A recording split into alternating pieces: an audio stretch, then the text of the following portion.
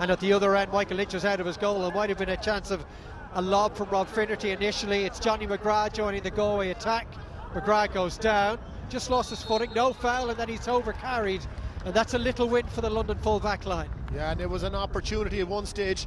Uh, I don't know, was it Rob Finnerty uh, that had the ball, but uh, Michael Lynch was off his goal line, and I've seen that on a few occasions now today.